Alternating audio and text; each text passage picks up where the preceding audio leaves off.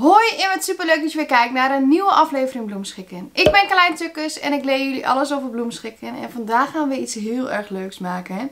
Weer een veel aangevraagde video, namelijk hoe maak je een armcorsage. Een armcorsage hoeft echt niet moeilijk te zijn. En helemaal niet omdat je ja, bepaalde materialen hebt die je heel makkelijk kan gebruiken. Waardoor een armcorsage eigenlijk makkelijk te maken is. Dat ga ik jullie vandaag laten zien. Dus heb je er zin in, doe alvast een duimpje omhoog en dan gaan we aan de slag.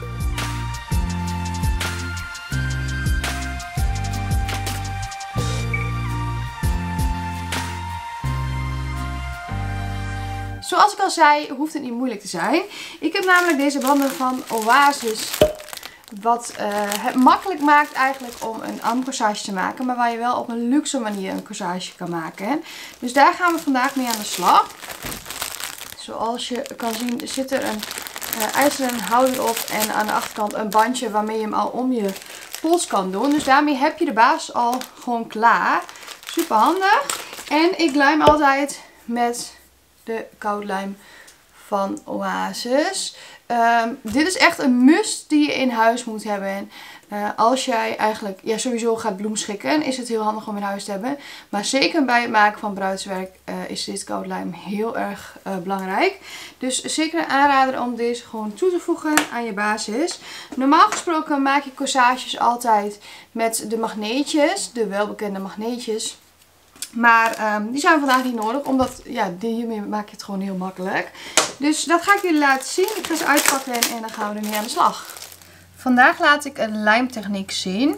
Maar wat je eventueel ook met deze banden zou kunnen, wat echt heel erg handig is, is er een stukje steekschuim tussen doen. Um, je kan namelijk het uh, metaal kan je buigen, waardoor je dit kan vastklemmen in Ehm, ja, in het bandje.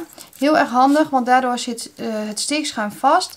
En uh, kan je daarin eventueel kleine bloemetjes die wat kwetsbaarder zijn steken.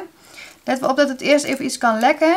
Vandaag gaan we een lijmtechniek toepassen. Maar daarvoor zijn deze dus ook geschikt. Dus je kan er echt alle kanten mee op. Ideaal.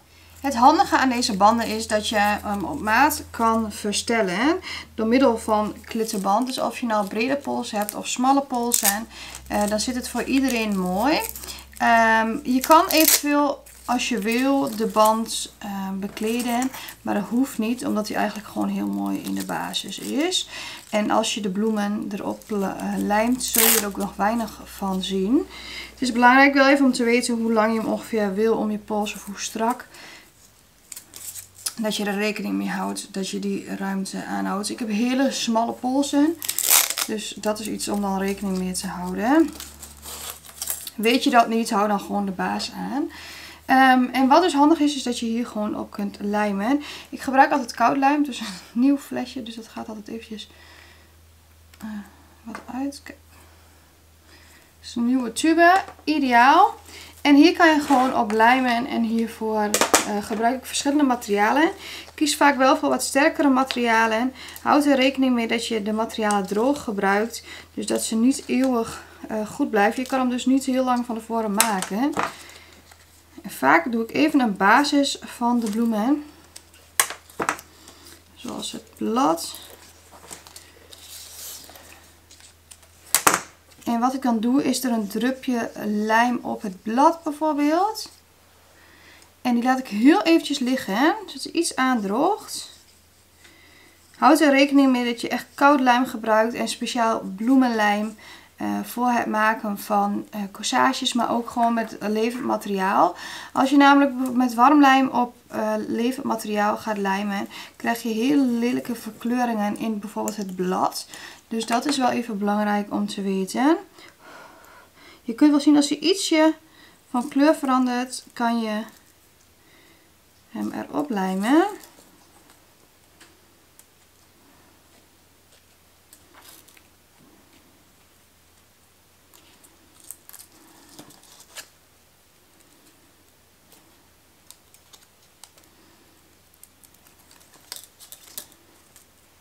Laat het even goed aandrogen.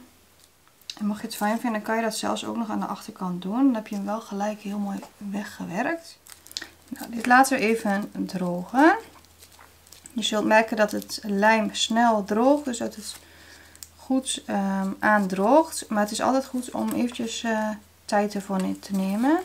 Je kan er eventueel ook voor kiezen om één blad onder de ijzeren draden te doen. Dan buigt hij iets mooier mee met het uh, lint. Maar dat is net wat je zelf mooier vindt. Dan zal het blad wat meer om de polsen vallen. Dan zit hij gelijk mooi stevig vast. Kijk. Hou rekening met lijmresten. Nou zou het aan deze kant nog niet zoveel problemen zijn. Want er komt nog, komen nog bloemetjes overheen. Maar het is natuurlijk niet mooi als er lijmresten op jouw productie zitten die zichtbaar zijn. Ik vind het altijd mooi om mooie fijne materiaaltjes te gebruiken. Dus om het niet te grof te maken. En ik kies vaak voor sterke materiaaltjes. Ook hier laat ik hem heel eventjes aandrogen. Je hoeft maar echt een heel klein beetje lijm te nemen. Hè? Niet te veel. Is niet nodig, want het is wel gewoon stevig goed, goede lijm.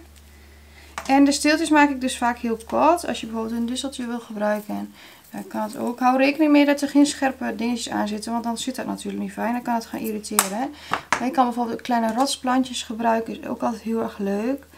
Uh, wat ook heel erg geschikt is, is ornithogalum, zuidenwindlelies. En zoals je ziet doe ik overal vast even een klein drupje lijm op. Dan kan het iets aandrogen. Vind ik het fijnst werken op die manier.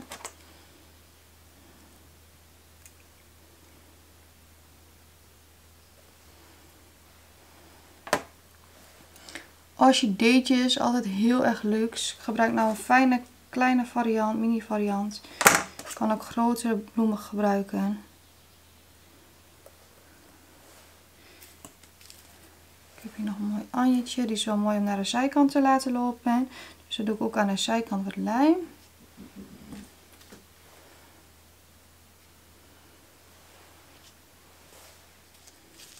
Je zou eventueel in het midden ook een mooie grote roos kunnen gebruiken. Afhankelijk van je wensen. En zo zijn er heel veel materialen die dan nog geschikt zijn om te gebruiken. En dan als je heel eventjes hebt laten lopen, uh, laten uh, drogen, kan je het bevestigen. Je kan ook eerst even van tevoren het voor jezelf uitleggen.